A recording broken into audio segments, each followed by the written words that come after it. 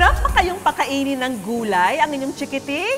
Pwes, sa mga dessert recipe na ito, ay sigurado silang maeengganyo. Singkamas?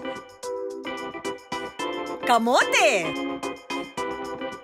At upo? Mga pagkaing magagaan sa bulsa, pero ubod ng sustansya.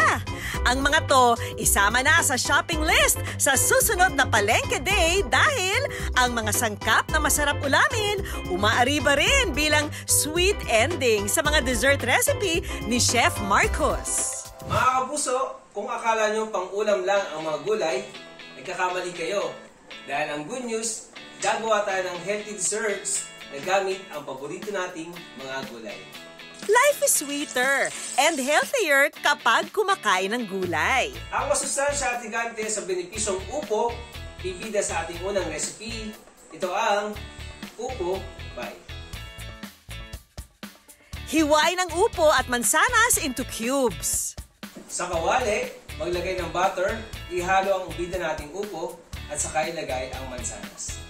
Idagdag ang brown sugar at lutuing parang minatamis ang upo at mansanas. At para sa kaunting flavor, mag-add tayo ng cinnamon powder at lemon juice. Haluin ang mga sangkap hanggang sa lumambot at mag-caramelize. Isang tabi ito. Ngayon, ibalot na natin siya gamit ang ating lumpia wrapper. Sa mainit na mantika, iprito ang mga pie.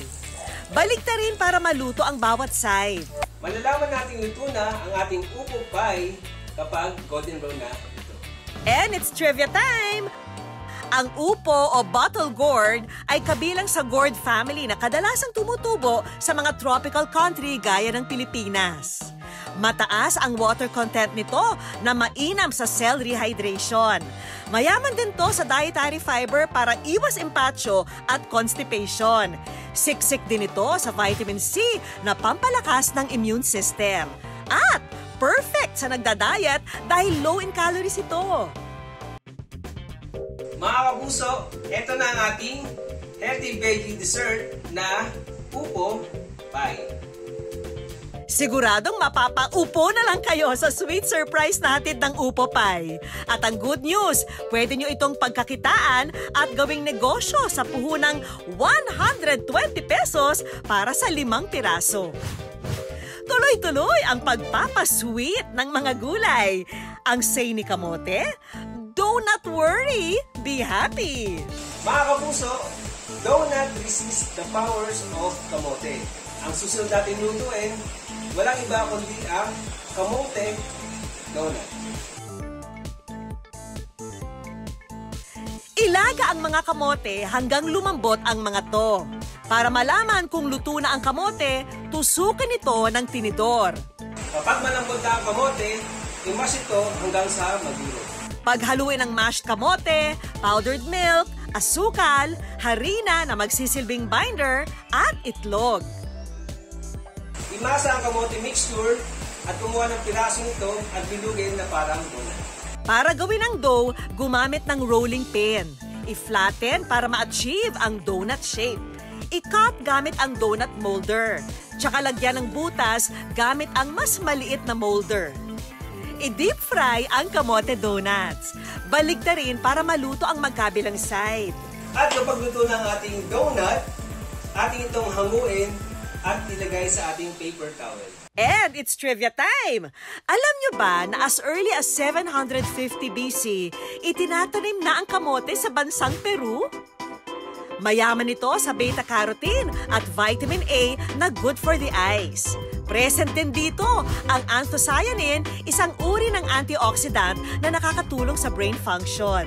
In other words, nakaiiwas ito sa pangangamote dahil sa memory loss. Mga kapuso, eto na ang masustansya nating kamote donut. Ang kamote donuts pwedeng ibenta at gawing negosyo sa puhunang hindi lalagpas ng 150 pesos. Makakaluto na rito ng hanggang 10 piraso. For our last veggie dessert, sa Cavite tayo dadayo kung saan hitik ang mga singkamas. Dito, pakikitaan daw tayo ni Chef Melissa. Mag-refresh tayo ng pakiramdam at sikmura gamit ang bida nating singkamas. It's trivia time again! Sa Asia, alam niyo ba na ang Pilipinas ang unang narating ng singkamas? Nagmula ito sa Central America at Mexico na dinala ng mga Espanyol sa atin noong 17th century. Mababa ang calorie content ng singkamas habang mataas ang fiber content nito. Ang water content ng singkamas pumapalo ng 85%. Ang kada 100 grams nito ay meron lang 35 calories. At alam nyo bang siksik din ito sa vitamin C?